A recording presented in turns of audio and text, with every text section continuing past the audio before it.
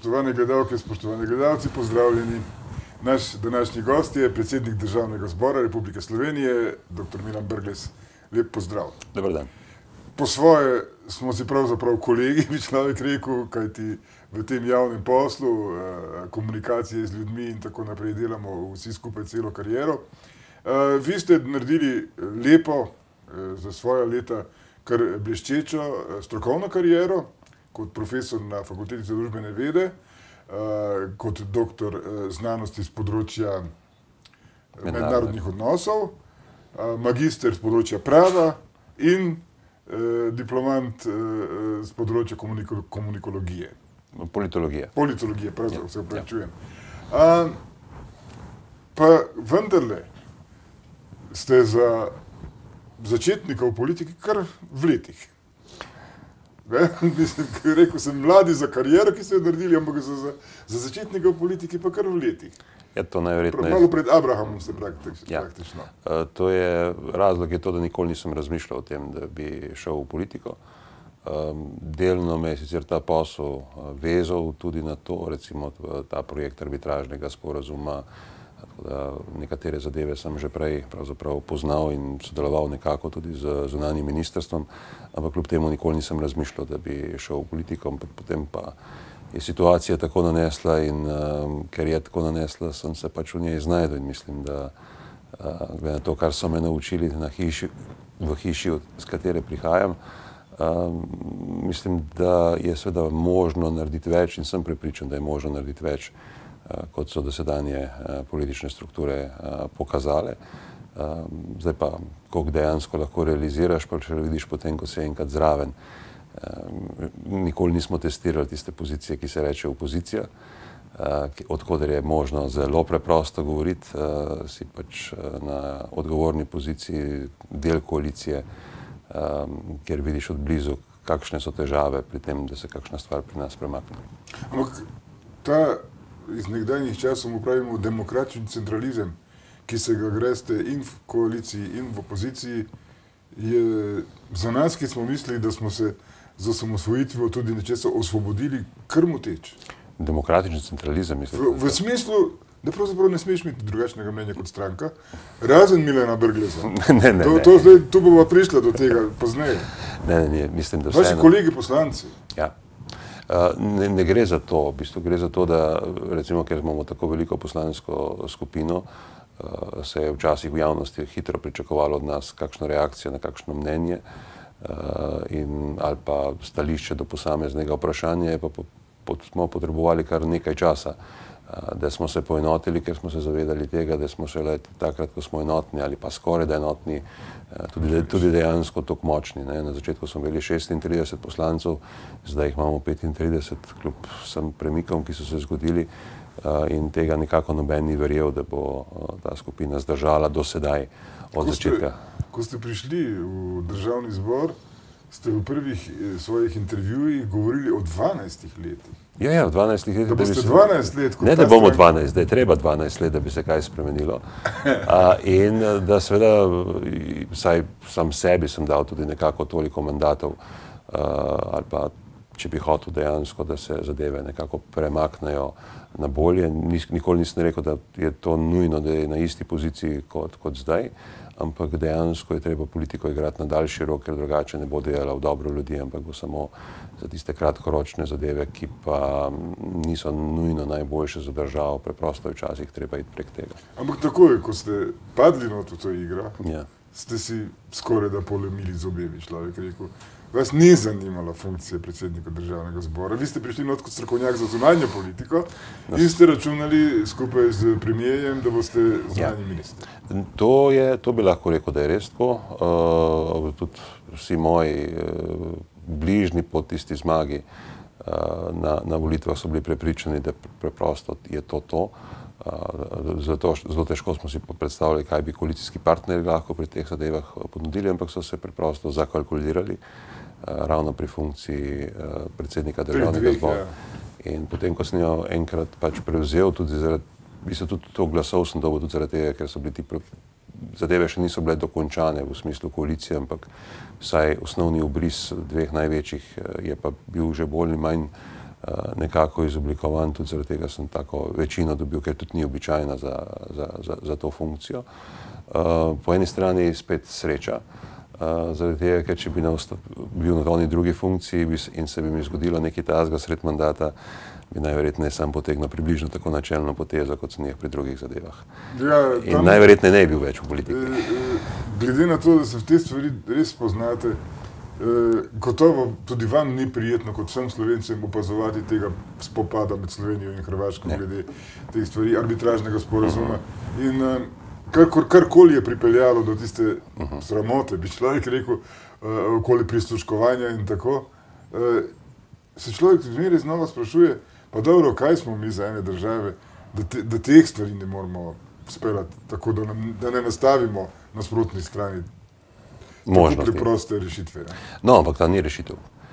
Na, vso srečo smo ta, ta problem vsi skupaj, tukaj ne bom nič govoril, samo opozicija ali pa opozicija, ker je dejansko bilo potrebno poenotenje. Uh, bili tako modri, da smo uh, uvideli, kaj, kak, ali pa katere so, katere so tiste možnosti reševanja, ne še enkrat imenovati uh, svojega arbitra, ampak v bistvu najprej seveda, znanega mednarodnega strokovnjaka oziroma nekoga, ki bi mogoče zaustavil Hrvaško, da ne bi šla do konca vleči te poteze, kot jih je, kar po mojem ni najbolj pametno. Uh, Eh, in na drugi strani eh, v naslednjem koraku pač na samo arbitražno sodišče, da se bomo zaprosili arbitražno sodišče. Da bo, kaže, da bo arbitražno ja, sodišče bi biti, odločilo in Hrvati bojo spet, tako kot cel čas rekli, mi tega ne priznamo, ja ne priznajmo ovaj sud. Kaj bi zdaj, kaj potem? Ja, Se ni, ni pravih vzvodov. No. No, so najprej na naši strani, mi moramo implementirati svoj del, ki je potrebno in tle je zopet zelo pomemben parlament. Uh, neodvisno od tega, kdaj se bo ta zadeva zgodila, bo parlament pač moral zakonodajo temu prilagoditi. Vemo, da je treba eh, zakone prilagoditi tej rešitvi, ki bo, uh, kakšna bo, ne moremo vedeti. Ja. Uh, vemo pa tudi, da iz, iz vseh sporočil, da v bistvu pač ne bo več uh, razmišljanja, razpravljanja in da je ta faza končana in da je zdaj faza pisanja končne uh, odločitve. Ko sem na tem stolu vprašal, zunanjega ministra, uh, kako si lahko privošči izjavo, da nam dobro kaže, ja. v, preden je prišlo ja. do vseh teh afer. Je rekel, veste, jaz nisem politik, jaz povem, kar mislim. Takrat sem se res nasmehnil. Ne more vrhunski diplomat reči, da ni politik. Ne, sem, da ni, no, lahko reče, da ni strokovnjak. Ne, on je rekel, da ni politik. Ja. Da on... Jaz bi se lahko zgodovarjal, da sem strokovnjak, pa da nisem politik. Ampak v tem primeru v bistvu vem, da je zadeva eh, in tukaj pa še, da je celo kombinacija enega in drugega, zaradi tega se zavedam, eh, kaj to pravzaprav pomeni in kaj reči. Na tem področju, ja. eh, verjetno ste že v kakih takih eh, skupinah sodelovali, če bi vas postavili takrat na mesto arbitra, eh, bi se vam lahko to zgodilo, da se s kolegico pogovarjate po telefonu? Po na tak telefonu. način, po no. navadnem telefonu. Ne bi si znal predstavljati, kako bi te zadeve zgledala na tak način. Mislim pa, da v primerjavi z številnimi drugimi bi bili ti veliko prej, eh, če bi že morali pri nas gledati eh, in iskati ustrezne arbitre. Čeprav sem bil vedno prepričan, eh, da recimo pa odvetnikov takih, kot jih imamo, pa nikakor pri nas ne bi mogli dobiti, ker skozi ta primer šele dobivamo tisto znanje, ki jih prej recimo, tudi mednarodna pravna stroka pri nas. Hrvati so imeli nekaj strokovnjakov na tem področju, zelo močni. Ja, ampak spet, pa, spet ne to, toliko, da bi celotno ekipo postavili Hrvati. To pa je. Ne, to, ker, to pa je manjko, dejstvo je, da rabiš primere pred meddržavnim sodiščem.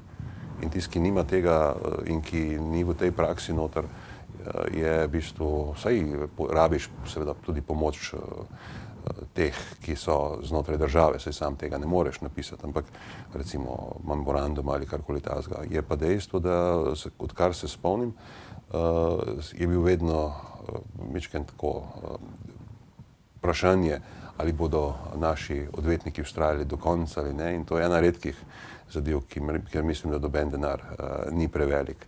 Uh, zato, da, da, se, to vložiš, to. da to vložiš, zaradi tega, ker tukaj je pa uh, res brez tega, zdaj ste videli številne primere, ki jih nismo imeli dovolj resno, smo na takih mednarodnih forumih izgubili. Eh, med predhodniki, ki jih imate, je bilo vsaj nekaj zelo markantnih, pokojni dr. Bučar, s svojim On stilom, sploh. ne boš ti meni tlele, ja. Afne Guncev, in uh, Herman Rigelnik na drugi strani, zelo strok, zelo odločen. To pravzaprav sploh ni bilo nekih incidentalnih situacij, ker jih je presekal v Kali uh, kot uh, tak uh, politik. Uh, vi pa imate zelo visok prak potrpežljivosti. Dolgo zdržite, ko vas provocirajo. No, mal je treba v bistvu zdržati, mislim, da je to prav. Uh, skušam ravnati, kolikor se da uh, demokratično, do zdaj mi dokončno ni potrebno nobenemu vzeti pravzaprav besedo. Uh, mogoče sem koga kdaj že prekinil, da je zadeva šla le tako daleč, ampak uh, mislim, da se v parlamentu mora govoriti. Uh, zdaj pa je odvisno od tega, uh, koliko lahko zagotoviš, da in leva in desna stran govorijo. Poskušal sem pa razne stvari od tega, da sem dejansko dajal malo pomino ali karkoli tazga, pa se ni izkazalo. Tudi ni naprejšnjega recepta, kako v kakšni situaciji odgovoriti. Če začutiš, kako teče tista točka, je mogoče reakcija glede na, dajmo reči, emocionalni naboj uh, primernejša kot glede na tisto vsebino, ki je, ker lahko ali podaljšaš razpravo, uh, potem začnejo naenkrat vsi upiti, postopkovna samo še uh, Eh, tako da ali pa prevzameš preveliko breme pravzaprav nase, uh, ki niti nisi v tej vlogi. Včasih uh, mi je bilo, vsaj na začetku, uh, malo, um, sem mal, mal pričakoval mal večjo podporo strani svoje uh, poslanske skupine, ki je relativno velika, ampak seveda tam niti niso bili toliko izkušeni, tako da so lahko kvečemo z številko podpirali to zadevo, ker na začetku je bilo veliko po teh postopkovnih bojev, če se spomnite, uh, tako zaradi Janeza Janše, kot zaradi vseh teh zadev. Dokler te nekako nismo spravili z dnevnega reda, tudi parlament ni bil do konca oblikovan, ko smo oblikovali to komisijo za nadzor varnostnih in obveščevalnih služb, ker brez tega normalno delovanje parlamenta ja, manjka in, in tega vodi vedno opozicija. Kole, ko, gledamo parlamente, ko gledamo parlamente po svetu, hmm. imaš tega, do tega, da se tepejo, da derejo vse na drugega, da smo v Makedoniji imeli tisti ja. vdor v parlament in tako naprej. E, v Sloveniji še zmeraj, razen tiste kacinove zgodbe, ne. pa ni tistih pravih. Verbalno nasilje je maksimalno doživljeno. Ja, uh, ampak to zmeraj tudi prihaja pretežno z iste strani, e, ta verbalni, verbalna ostrina. Ja, pa včasih v bistvu tudi nesposobnost e, ljudi, da, da bi razumeli, da v bistvu, če odgovorijo na to na isti način, da so pravzaprav na slabšem, ker so na njihovem terenu. Ja, ja. No, pa pojdiva k konkretni zgodbi.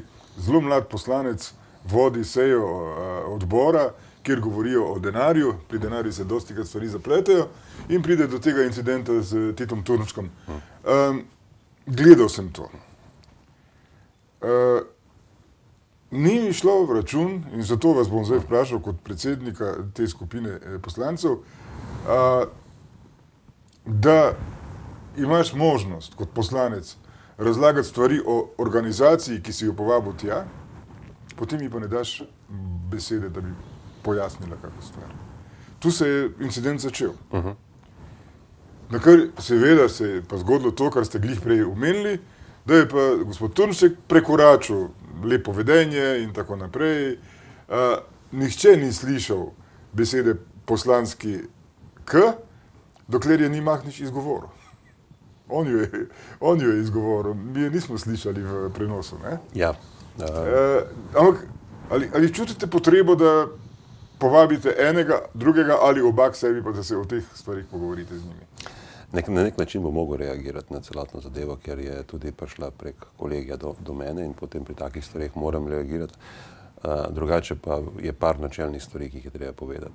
Dejstvo je, da, da, da so predsedniki odborov zelo samosvoji oziroma imajo celo več pravic kot jaz. Jaz sem nekako vezan na poslovnik in se ga moram držati. Tudi neki dogovori so bili, kako se vodi te uh, glavne seje, ki jih sam vodim. Uh, in tudi neka praksa parlamentarna se je oblikovala. Da, tukaj ne, običajno, oziroma ne, sploh ne bom, ne, bom, ne grem iz teh okvirov in to je, to je dejstvo. Ne. Včasih, če kako vprašanje nikoli ni bilo do sedaj obravnavano, potem je možno postaviti nove tirnice, drugače pa ne. Ampak to je en del stvari. Drugi del stvari je to, kaj pomeni demokratičnost. Ne. Demokratičnost normalno pomeni, da daš tistemu, ki, s katerim si v spopadu ideološkem ali kakršen koli pravico do besede. Moje načelno stališče, običajno je celo tako, da ne posredujem ali pa bom se rekel, branim celo nekoga, ki nima več možnosti, da bi se branil sam, če je pač situacija tako nanese. Seveda, če vem, zakaj pravzaprav gre.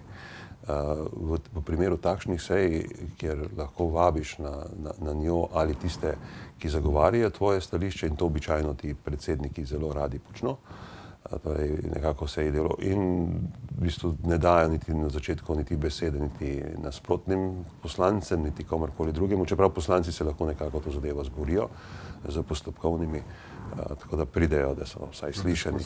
Ampak pogosto se zgodi, da ti gostje, recimo, če normalne seje govorijo, tudi dve uri prej pridejo na vrsto poslanci, gostje lahko predstavijo svoje stališča, ne morejo pa razpravljati v polnem pomenu besede in z, z vsemi, polemiko, ja, polemiko, polemiko ne morejo.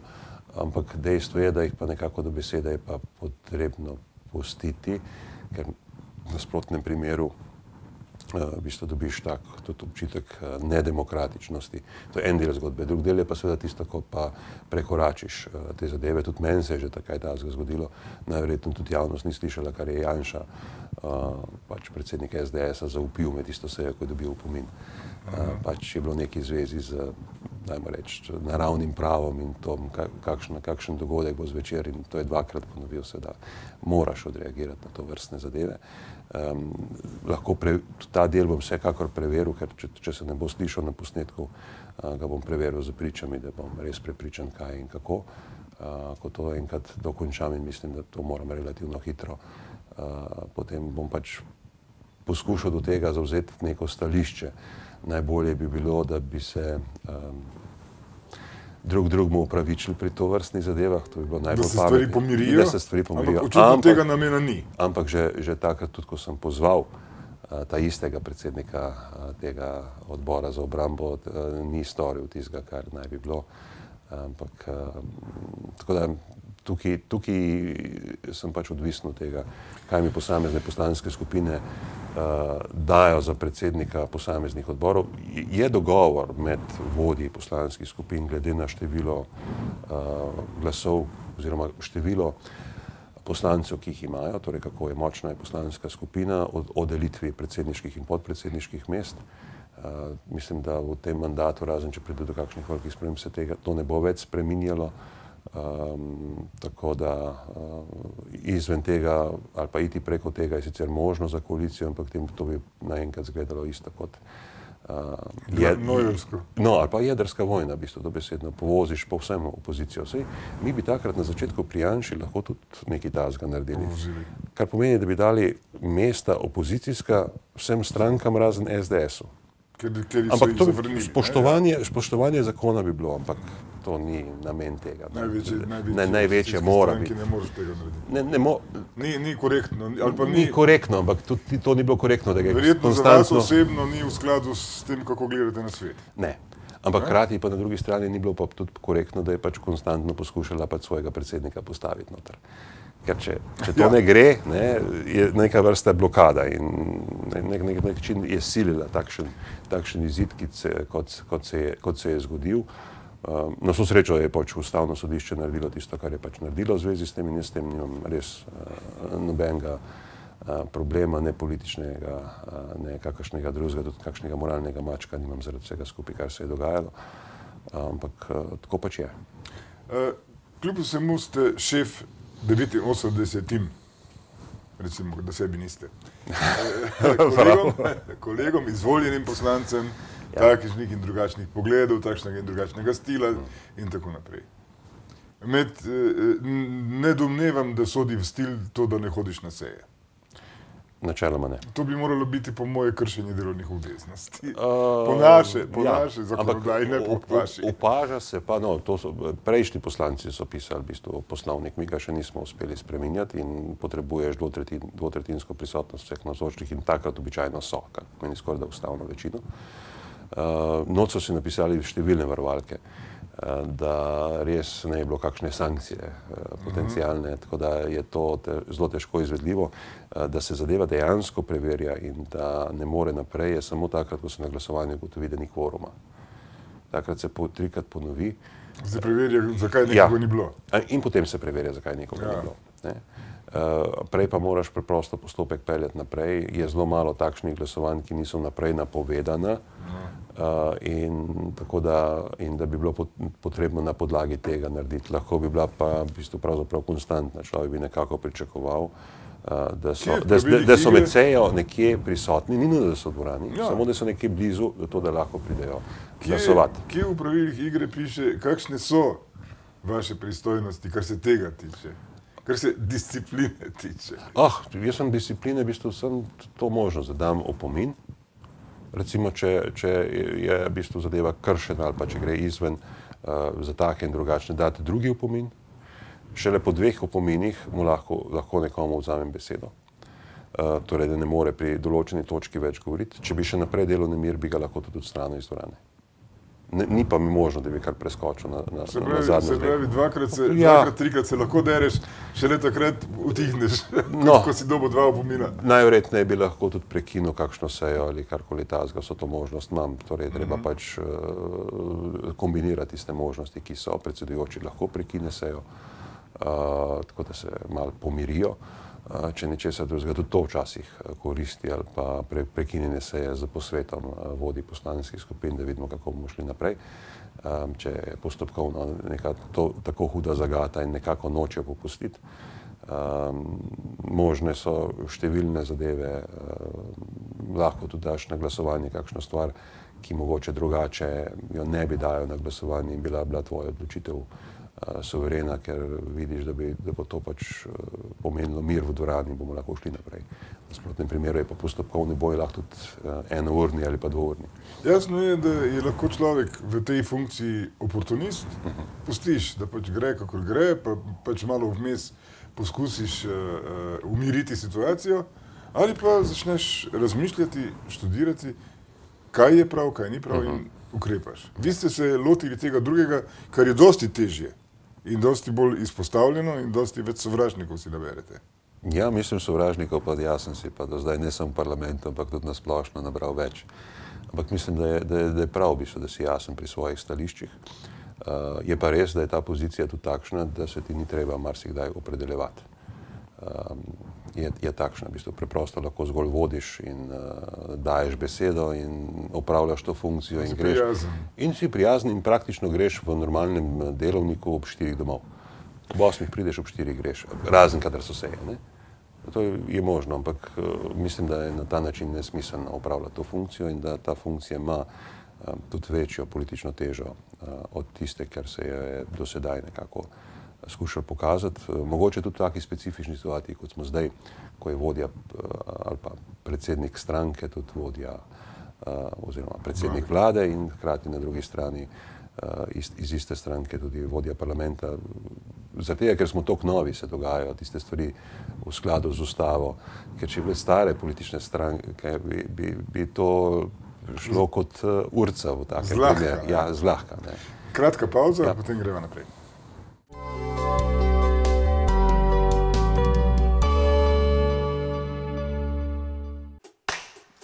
Se niste mislili, da sem jaz, a? Nekaj novega. Tudi jaz sem se malo svežila. Nekaj, kar poznaš, je zdaj drugače. Znana voda, nov okus, limona, radenska.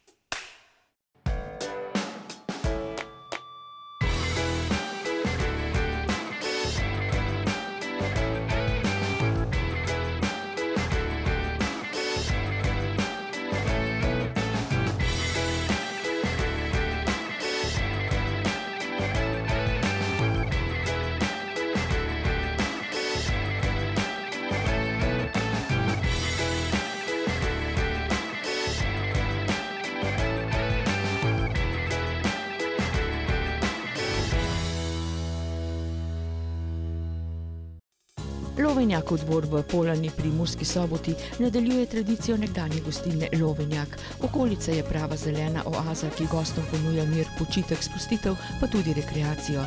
Urejeno imajo ovoro z živalmi, ki so za goste prava popestritev in veselje za najmlajše. Sredi te oaze stoji domačija v starem pridmurskem stilu urejena partma, poleg pa je hiška z džakuzijem in savno. Tu je še prostor za kampiranje. V tem kompleksu stoji tudi hotel Štrk s 24 sodobno opremljenimi sobami. Goste hotela lahko koristijo bazen in savne, gostilna pa goste razvaja z vrhunskimi jedmi, od ribjih jedi do prekmurskih specialitet, pripravijo ajdovo zlevanko, juhe, dedole zrezki, ajdovo kašo z jurčki, pa še mnogo drugega. Vabijo vas na obisk in topel sprejem. Prostite, če vapčiče in pleskavice bi starši moja pridejo na piknik, jaz pa... Ja, za taščo pa samo najboljši. Ja, Vzemite ave. hvala. Ave Grill, prvi in najbolj prodajeni mesni izdelki za žar v Sloveniji. Mediteranci za vse letne čase. Mediteranski piščanec Natur Premium tudi na temačen dan v vaš dom prikliče morje in sonce. Perutnina Ptuj, prvi v reji, prvi v okusu. Uspeh vašega posla je odvisen od varno shranjenih in povsod dostopnih dokumentov. Zato vam v Telekomu Slovenije že od 5,12 evra na mesec zagotovimo varnost in dostopnost podatkov. Če ste hkrati naročnik poslovnih paketov, vam programski paket Office 365 namestimo na vaše naprave brez stroškov. Le vzamete jih v roke in pričnete z uporabo. Vi podpirate Slovenijo, mi skrbimo za vas. Telekom Slovenije.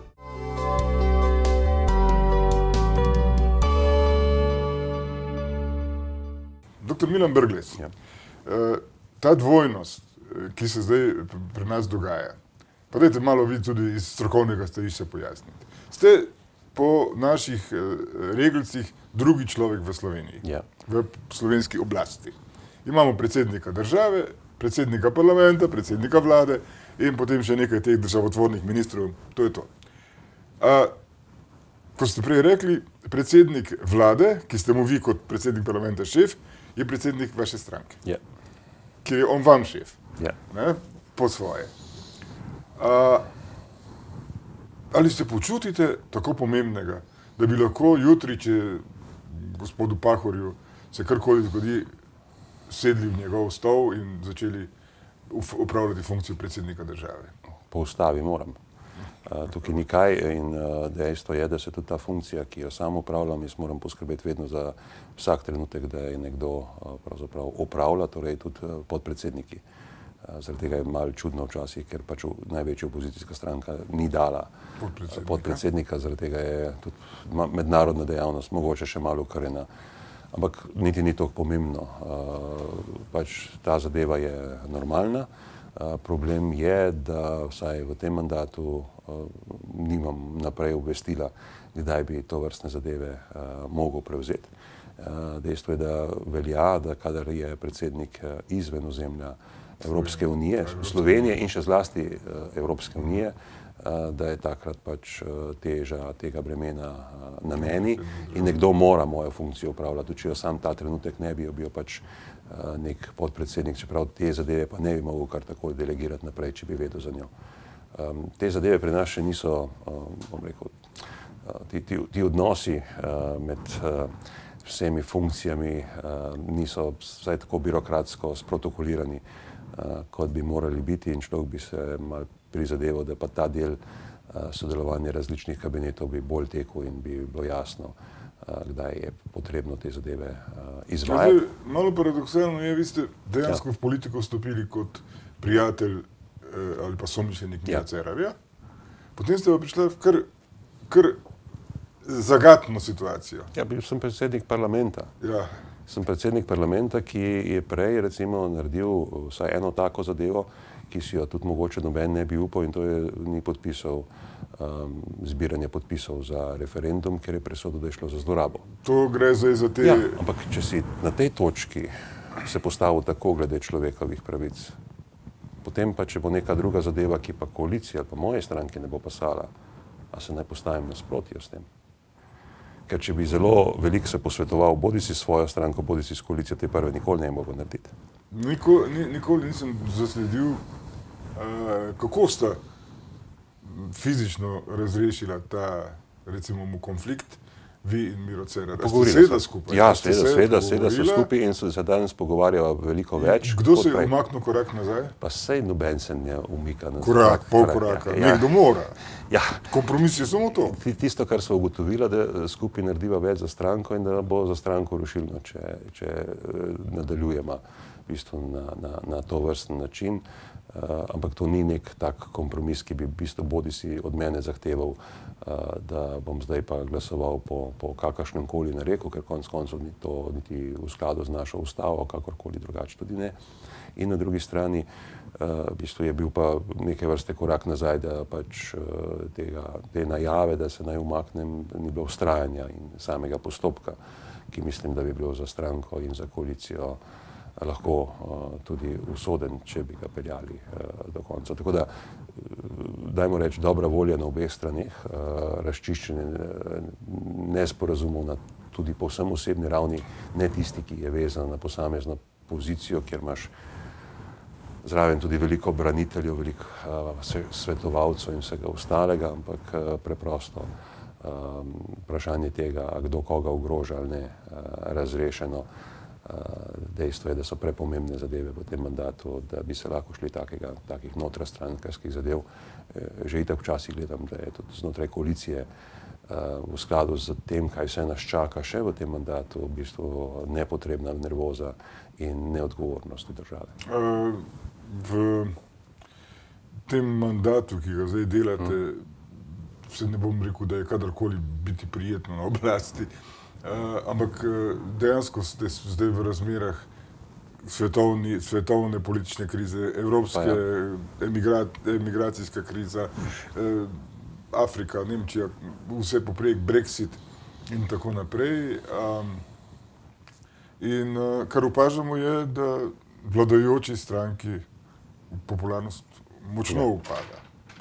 Se pravi, zdaj, če primerjamo tistih 36, s katerimi ste prišli noter, ne vem, če ste na polovici tiste številke, če bi danes eh, izvedli volitve. Težko v bistvu predvidevati, ker Ja. ja. javno mnenjske so en del zgodbe, Vem, ampak vas. eh, vendarle gre Ja. za, to, za tako signifikantne podatke, tako veliko razliko, da Ja. bi vi bili smešni, če bi rekli, ja, mi bomo pa spet ne, prva stranka v parlamentu. Ne? Je, pričakovanja ljudi so bila zelo hudo uperjena v nas in jih je praktično skoraj nemogoče bilo v celoti izpolniti. Pa plus tega situacija je bila. Dajte roko v ogenj za to, da ste tudi naredili vse, ali pa dovolj, da bi ta, vsaj tisto, kar ste želeli narediti, eh, res storili. Jaz mislim, da vsaj pri nekaterih vprašanjih, ja, pri vseh uh, je težko reči, ali je bilo vse optimalno, ker so včasih uh, ti spopadi znotraj koalicije, to, da storiš naslednji korak, tudi uh, svoje vrstni in potem te pač čas- časovne zanke tako ali drugače uh, lovijo. Uh, ampak glede na vse, kar uh, je bilo nepričakovanega, mislim, da smo uh, kar dobro krmarili. Uh, a je to zdaj dovolj, da bodo ljudje predsedni, da lahko še enkrat vodimo um, to barko naprej, je zdaj drugo vprašanje. Uh, vsaj kar se mene tiče, uh, jaz mislim, ustrajati v politiki in uh, neodvisno pozicija ali opozicija uh, peljati zadevo tako, kot mislim, da je prav. Um, je pa dejstvo, da nas, sej, to pravim, v bistvu, ko smo prej govorili tako na malo o arbitraži, v bistvu ta nas nekako čaka v tem mandatu, to je zdaj pa že jasno in um, kakršnokoli uh, igranje okoli tega uh, z potencijalnimi kakšnimi še predčasnimi volitvami eh, bi lahko to zadevo še bolj odmaknilo, kar pomeni postavilo še v, v teže pozicijo tudi samo arbitražno sodišče, ne samo uh, slovenske politike. Naša stran itak velja za tisto, ki je bolj stabilna. Um, zdaj, a je dovolj ta občutek stabilnosti? Najverjetneje ni samo ta. Uh, ampak po drugi strani je pa vprašanje, ali se ljudem tudi pozna ta gospodarska rast in ti dobri kazalci, ki so ne, tudi ta se še. Uh, ta je vedno Preveč, za- preveč večje zamude. upokojencev, Ja, ja, premalo ja. je onih, ki so aktivno zaposleni, preveč je prekernega dela. Ja. En kup stvari je, s katerimi se potem, eh, ko, ko, ko moramo poslušati in gledati, kako so v zdravstvu trošili denar Uh -huh. ne, po nepotrebnem, zelo dragocen denar, s katerim bi lahko veliko več naredili za ljudi. In kako, in kako bo v vsakem primeru uvirali, da bi se karkoli zgodilo. To, to je problem, Ja, ja, ja. ja. to je problem. Ja, Ogromno, ogromno je takih pad pozicij. In zelo težko je najti uh, koalicijo, ki bi na vseh teh pozicijah lahko šla skupaj. Ne, pri nas je to, to razumevanje uh, včasih uh, težko in v bistvu tudi ne predstavlja si, vsaj mi si nismo, kaj vse je treba storiti, da pri nekaterih vprašanjah odmikaš tiste, ki lahko toliko nasprotujejo, da ga sploh ne moreš rešiti v isto smer, kot bi ga hotel rešiti. Ampak bi je bilo treba rešiti Lahko države. ljudem pojasnite, morda vi bolje razumete kot jaz, čeprav jaz eh, sem obseden s temi stvarmi, pa preveč tega berem. Drugi tir. Ja. Kakšen garant imamo, da se ne bo ponovil eh, termoelektrarna Šošta? Zelo velik, zaradi tega, ker bo ogromno teh evropskih sredstev najprej za začetek. Ta del je pomemben, ker tam ni teorije, da bi pod tistim nadzorom pravzaprav zadeve eh, lahko šle v, v to smer, ampak gre za sredstva, ki jih moramo, nepovratna, ki jih moramo dobiti, drugače bomo si dobesedno pol milijarde eh, rabili dati iz proračuna, najverjetneje jih ni in v tem mandatu jih ne bo, naslednji razpis bo leta 2021. Eh, Za pol milijarde gre. A bomo to pol milijarde dali ljudje, ki jih ni teorije, ki ne vem, kje vzeti, in na drugi strani, a bomo ta evropska sredstva izkoristili v teh, recimo malo manj kot polovico je nepovratnih, to pomeni tistih, ki je ti ni treba vračati kreditov. Na drugi strani rabiš to dimenzijo in rabiš v bistvu tudi, recimo Mačari so včasih malo sporni, komu lahko, ampak ja, v bistvu Mačari so vedno šli skozi reko. Zdaj, če gredo v Koper in če sodelujejo pri investiciji, bodo vedno na njej. V bistvu to je dolgoročna geostrateška taka sprememba, da je to edinstvena priložnost v tem mandatu. Opozorila opozicije eh, so samo spini ali, ali ima kaj vsebine tudi to, ta Ma, opozorila? posku, poskušajo razne, razne zadeve tudi zaradi tega, da pa se ta zadeva ne bi zgodila, ker je eh, nekako- Premočna. Ne premočna, ker bi končno mi nekaj naredili, kar oni niso uspeli. Ne, ne po, po, postavi zadevo naprej. Uh, zdaj, kaj vse se še bo zgodilo, ne vem. Vem pa, da je to eno ključnih uh, Zdaj razvojnih vprašanj. Ja, vi ga boste zavrnili, pol je lahko. glasov. In pol je v bistvu vprašanje referenduma in še marsičesa drugega. In lahko v bistvu zamudimo tudi vse roke. Ampak neodvisno od tega, jaz mislim, da je vprašanje, ali imamo drugi tir ali nimamo drugi tir, eno ključnih razvojnih vprašanj v tej državi. Tako kot je drugo vprašanje, ki je, a se bomo povsem zaprli, a bomo vsaj do določene mere odprti. Veste, o čem govorim? Begunci so samo ena od takih zadev, ampak če se povsem zapreš, vse družbe, ki so se popolnoma zaprle, so propadle. In mi rabimo torej delno odprtost, razumem, razumem strahove ljudi in vse te emocionalne stvari, torej ne pretiravati v to, Ja, pa ampak kaj, rabiš in hkrati in na drugi strani potrebuješ v bistvu povezavo z svetom in ta je taka geopolitično strašno pomembna povezava, ker če jo ne bomo zdaj naredili, nas bodo vsi drugi zaobšli. In ko nas bojo zaobšli, tudi če naredimo, bomo to kvečemo so stroške nosili sami in od tega tudi ničesar imeti. Je Slovenija, dr. Vrles, enakovredna članica Evropske unije? Ja, če, če, če, če se zna na ustrezen način postaviti, v tistem trenutku, ko se pa naši politiki začnejo hvaliti, kaj so uspeli narediti, pa veste, da ali naprej ne bo, ali pa prej ni bila. Dejstvo je, da če Ne, hočemo ne, z nas- znanjem, če hočemo z znanjem nekaj narediti. Državljane muči že to, Ja. da, da govorijo o kolonah Šentilju. Ja. Ta vidik in dopuščanje tovrstnih praks znotraj tega je pa stvar v bistvu politike, ki se jo gre Evropska komisija. Eh, Evropska komisija je tokrat veliko bolj politična, kot je bila do zdaj, vedno prejšnje so bile veliko bolj strokovne. Uh, to je en del zgodbe. Drugi del pa tisto, da pojasnim, zakaj mislim, da je na znanju utemeljena v bistvu naša suverenost. Uh, zaradi tega, ker če si pravi čas, torej če imaš, če si pravi čas pri informacijah in pravi čas deluješ, v bistvu včasih svoje interese uh, prepričaš drugega, da jih prevzame in takrat obstaja večja verjetnost, da se bo realizirali. Sam se ne smeš hvaliti s tem. Tistem trenutku, ko se bo začel hvaliti s tem, potem ti je ta pot pravzaprav preprečena.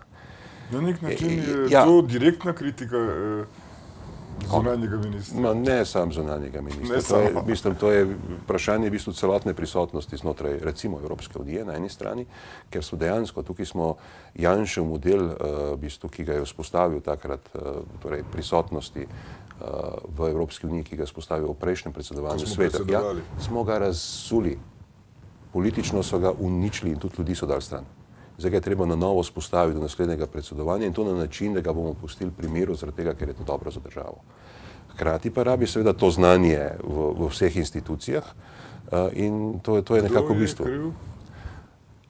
Dosedanje, stru, ne, dosedanje strukture, ker tu- tukaj, tukaj, so, tukaj pa niso znali ločiti od tistega, kar je Janša dobro naredil, od tistega, kaj ni.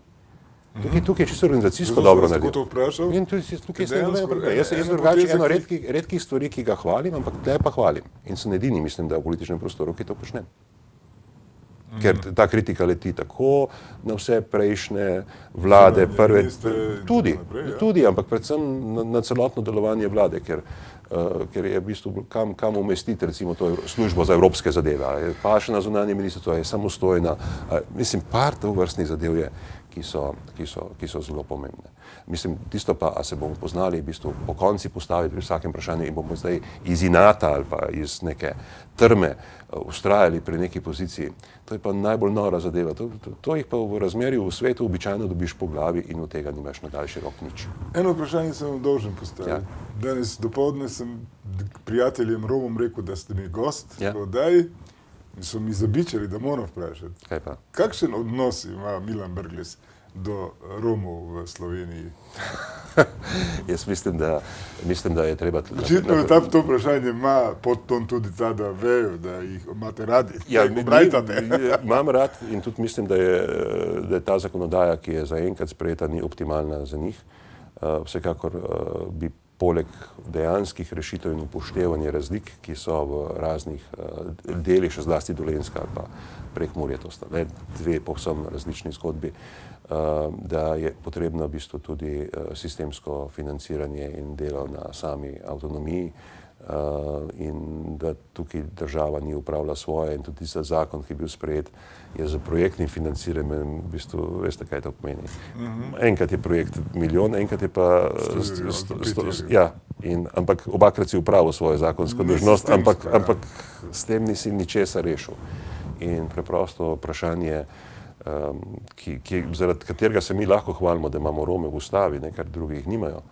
Uh, zadeva žal uh, ni, Ampak verjetno, verjetno bi še lepše izgledalo, da imamo Mačara, Italijana in Roma kot izvoljene poslance v parlamentu. Ja, zdaj ne vem, kaj bi bilo tukaj optimalno. Tudi tam je neka politična predstavljena. Romski svetniki so vseeno neki institut, ki seveda nekod se je zelo dobro prijel, drugod ga sploh ne marajo in občine se nočejo s tem Ja, mi, iz prekmorske strani, ko gledamo Ja, te vi ste, vi ste dobri lepše. Vi ste, vi ste to zgodbo ja. peljali in vi tudi razumete, kaj pomeni integracija na tem področju. Ne? Medtem ko tam je v bistvu pa spopad, kjer v bistvu je treba recimo kakšnega Drnovška, da pove, a ste sploh ljudje. Ja. Mislim, ko je to vprašanje, v bistvu človeka kar strese. Vaši dekleti sta, ko Ja. ste jima sporočili, da boste postali predsednik državnega zbora, rekli, da se vas odrekate. pravzaprav, No, ne? no, ne, ne, ne, ne, ne to, to kar direktno, ampak da Ja. naj, naj se ne heca. Ne Mislim, kaj, kaj, kaj, jaz sem sicer v tujini takrat in eh, se nekako niste pri- privabili na to zadevo. Tudi v bistvu zadeva je ta, da je tle varovanje in vse ostale zadeve le malo drugačno, tudi kot pri zunanjem ministru. In se je bilo treba na to nekako navaditi, ampak ta zadeva ni takšen bal. kot oče ste zelo vpliven. Zakaj? Dekleti študirate eno Ne. pravo, ena uh, Študirate tisto, kar- komunikacijo. Ja, študirate tisto, kar želita, uh, kjer mislim, da, da sta tudi dobri. Prav, pravo pa svetovna književnost, kako gre? Ja, ampak ti si bilo tako. Svetovna književnost za, za veselje, pravo pa za backup, aha, ker, je, ker tam ni na koncu služb. Um, ampak to je bila sam, sam ideja. Predvsem je bila ideja v tem, da je pač treba uh, možgane uh, izkoriščati maksimalno, koliko koliko se da in znanja. Koliko vas zanima umetnost, besedna umetnost, pa te stvari? Do določene mere me je vedno ta zadeva zanimala, ampak jaz sem recimo bral bolj filozofijo in podobne Mhm. zadeve. V, v srednji šoli sem bil pa ja, Glede na to, da ko smo se prej srečali, sem vas moral pozdraviti nekoliko gor. Ja. Košarka je bila vaš, Tudi vaša to, izbira? tudi to. Celo neki kadetske selekcije, pa tak? Ne, ne, kadetske A, selekcije. ekipe? Ekipe, Aha, ekipe, komet. tekmovalniško, ja. komet, komet so Zreče. se- eh, Komet jih slovenske konice. Ja, konice, ja. No, in tam je bil seveda Zdovc, je bil glavni. Ja, en, in banano sem mu dal. E, ja, mislim to. Ja, zdaj, lahko se pohvalim eno, z eno tako je? zadevo. On je glih prišel z, z ceste, pa je vrh hotel reči na koncu. Ne, ne, ne, ne, ne, Čist ne. prava tekma. Čista prava tekma, so bila približno enako velika. Ja. Takrat so bila približno Sem enako velika. roke imam enkrat daljše, Jure. To je pa res, bistvu pač enkrat je bil nepazljiv, kaj zdaj. pač na eni tekmi in ta, tle je bil pa nek tak, uh, bom rekel, um, rivalstvo med zrečami in konicami, ker smo prej bili Mhm, mhm, skupne mhm. občine. Ne. Z brati Šrot, Rečak. Ja, tudi, tudi, tudi. Ampak uh, oni so tudi ja, uh, košarkari, to, to, je, to je dejstvo. Ampak ker je to rivalstvo To nisem mislil o teh šrotov za pivovarne pa tega. Ne, ne, ne, vem, vem, da, vem lokalni šroti, vem, Ja. vem, vem, vem, tudi vem, kako visoki so. Eden od sošolcev je bil tudi na koncu zrastel približno, uh, iz osnovne šole približno tako kot jaz. Ampak jaz sem bil v osnovni šoli res tako velik, kot sem zdaj. In zaradi tega so, na na koncu bo mesto, mesto, mesto centra mi je vedno pripadalo. Ne? Kar je slabo, ne, za košarkarja mladega. Ja, seveda, ker se ne razvije popolnoma. Ker potem pa ostaneš majhen za resno košarko in Če ne, ne znaš zrasteš, žoge voditi. Ne? Ja, če ne zrasteš, Mhm. mm -hmm. in par fint sicer je, tiste lahko uporabljaš.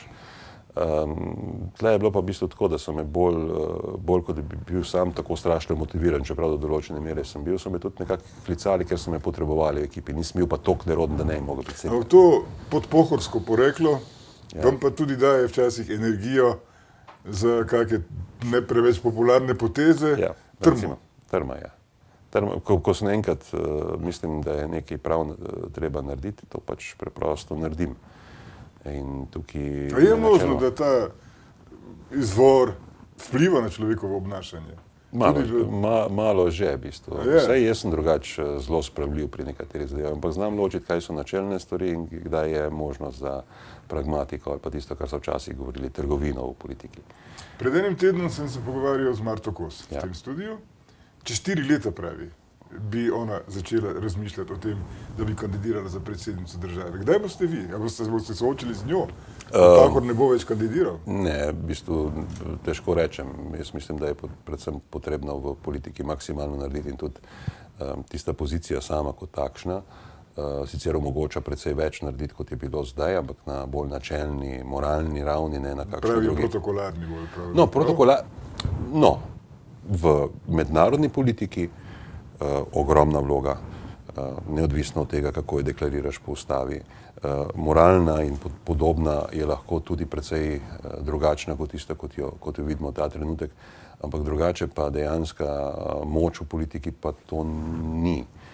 In uh, mislim, da je ta pozicija, kjer sem zdaj, uh, z tega velika, uh, precej močnejša, da lahko kakšno zadevo dejansko premakneš. Gospod Brgles, si znate sebe predstavljati, da bi se s smetarskim kamionom vozili okoli, nakladali gnoj, delali lego kocke, ne vem kaj že. No, sebe kot, kot v taki, take vrste politične kampanje. Mislim, ne, da bi se šel v politično kampanjo, zaradi tega ne. Jaz sem sicer, uh, moje poreklo je, nisem nikoli bil del elite in sem rabo zrasti gor.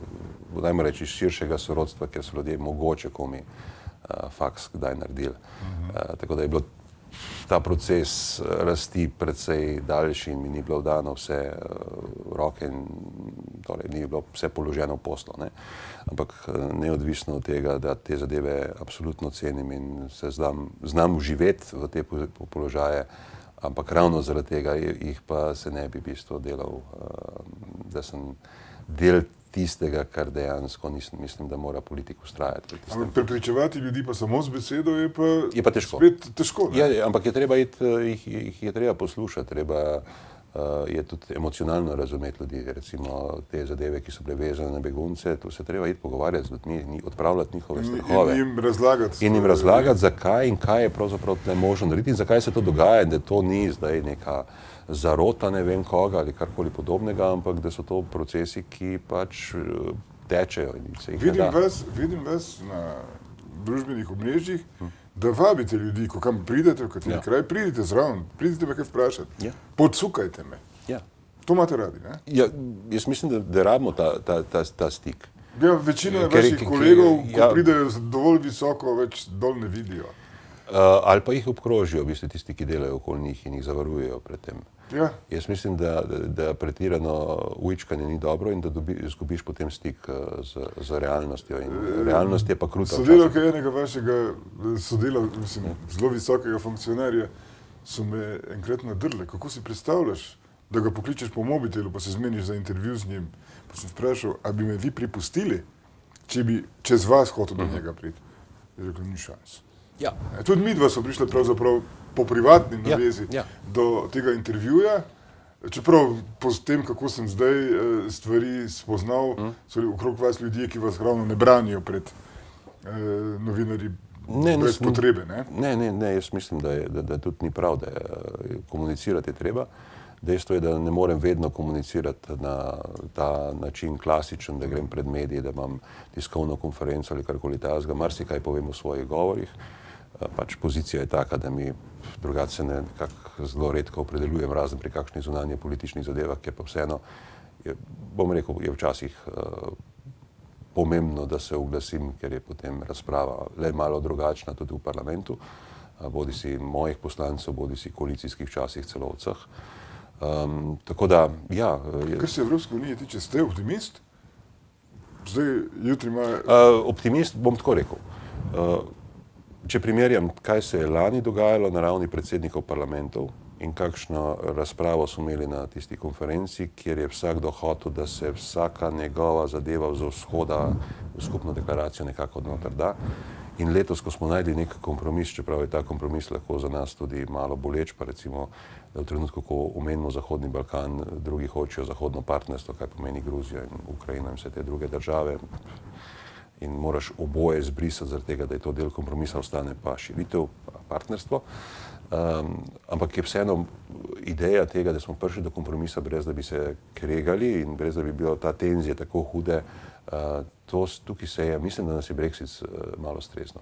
Kaj pa ta uh, zgodba skrajne desnice, Nemčija, Francija, uh, če bo enkrat prišla do Avstrije tudi, uh, če bo enkrat to začelo zmagovati v teh državah, potem je Evropa zelo, zelo na trhlih. Ja, seveda. Da v- Velja na splošno, v bistvu, če, če bo ta zadeva preveč šla v, v smer tega populizma desnega, mm, ki, uh, ki je tudi običajno evroskeptičen. Saj pri nas, saj pri nas tudi obstaja, ampak pri nas se noben ne upa reči, da je to proti, eh, da je kakorkoli proti Evropski uniji, razen mogoče kakšnega Linčiča. eh, Ki je že itak vedno na ta, na ta način lovil tudi, Ja, tudi ljudi, da je delal neko sporednico, sporednico Beograd-Bruselj, ampak eh, te zadeve niso ravno. razčistil sem z vami zdaj, kako ste dekleti sprejeli Ja. ja. vašo funkcijo, kako pa žena, ki vas ima zdaj veliko manj, kot vas je imela prej, partnerica, oprostite. Ja, ja, partnerka, ja. Ste Ja. ja. koruznik, Koruznik. s prstom na roki. Zaklet, ampak to, to smo naredila zase in to je to. Ampak uh, ja, privadila se je, kolikor se, se je dalo. Uh, običajno je treba posvetiti vseeno določeno pozornost na to, uh, nikoli ni toliko privajena, da, da bi mi pustila ali pa da se bi kar tako preprosto sprijaznila uh, z nekaterimi uh, stvarmi. Um, lahko me tudi kritizira glede političnih in ostalih zadev, ali forme ali vsebine.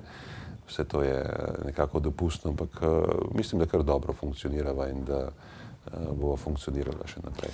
En zanimiv laps sem videl v nekem mediju, kjer je pisalo, da ste izvesti že več kot pol stoletja, toliko še stari niste.